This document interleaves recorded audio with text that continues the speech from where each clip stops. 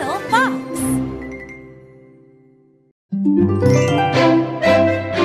The Adventures of Tom Sawyer, Chapter 15 Lost. The day after Tom and Huck's adventure in the tavern, Becky reminded everyone that she was having a picnic. This interrupted Tom's thoughts. He stopped dreaming of Injun Joe, and he stopped dreaming of gold. The only thing he could think about was Becky and the picnic. That night, Tom couldn't sleep. He stayed up, waiting for Huck to call. But Huck didn't call, so the next morning, a sleepy Tom joined the rest of the children at the ferry landing.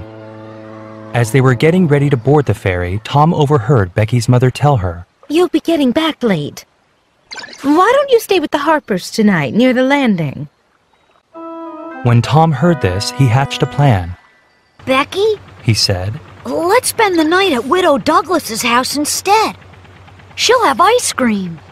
Becky was about to say no when Tom reminded her that her mother would never know. So she agreed. The ferry dropped the picnickers off at a spot about three miles from town. After they had eaten and played some games, somebody yelled. Who's ready for the cave? Everyone shouted. Yay! So candles were quickly provided and the children entered the cave. The cave was a confusing maze of twisting and turning tunnels, but most of the boys knew their way around a lot of it. After a while, the boys and girls returned to the cave entrance. Soon the ferry blew its whistle. Night was falling and it was time to go. The picnickers boarded the boat and amused themselves with tales of their adventures. No one noticed that Tom and Becky were missing. Meanwhile, Huck was watching the tavern. Huck was hiding deep in the shadows when he saw two men leave by the alley door. To Huck's surprise, one of the men seemed to be carrying a box under his arm. Huck was determined not to let the treasure escape him twice, so he followed the men. They headed toward the ferry landing and then a little out of town. They stopped near the widow Douglas's house, There are lights on. Growled Injun Joe, She must have company. Maybe we shouldn't do this. said the second man, No way. said Injun Joe. I want revenge. Her husband horsewhipped me, but he died before I could. Are you going to kill her? interrupted the other man, I won't do any killing. Kill? Who said kill? answered Injun Joe. Huck had heard enough. He turned and slowly moved away. Once he was sure that he couldn't be heard or seen, he ran. Huck stopped at the first house he came to. It was the Welshman's house, and he banged on the door. As soon as the Welshman opened the door, Huck told him that Widow Douglas might be in danger. The Welshman and his sons grabbed their guns and ran into the night. Huck returned at dawn to learn what had happened, Sit down, boy. said the Welshman.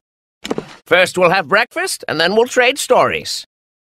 After breakfast, Huck learned that Injun Joe and his partner had gotten away, but that the box contained only thieves' tools. Huck told the Welshman almost everything he knew. The Welshman was shocked that he and his boys had almost captured Injun Joe. All through the morning, Huck stayed out of sight because he didn't want anyone to know that he was involved. The Welshman had a lot of visitors who wanted to hear the tale, and he told them. But he never mentioned Huck's name.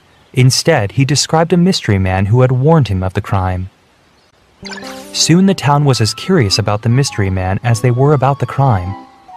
But the Welshman wouldn't reveal Huck's identity. Although there was no Sunday school during summer vacation, the whole town gathered at the church. People wanted to hear more news about the thieves and the mystery man. Before long, a new mystery appeared. Where were Becky Thatcher and Tom Sawyer? No one knew. Judge Thatcher organized a search party and the group went to the cave. They looked for Becky and Tom for three straight days, but were unable to find them. The only thing they found was Tom and Becky's names written on the wall of the cave. While Huck was following the thieves and most of the town was sleeping, Tom and Becky had become lost in the cave. Tom was an experienced explorer, but while he was with Becky, he had forgotten to mark their path. When he realized they were lost, it was too late. Becky cried, and Tom did his best to comfort her.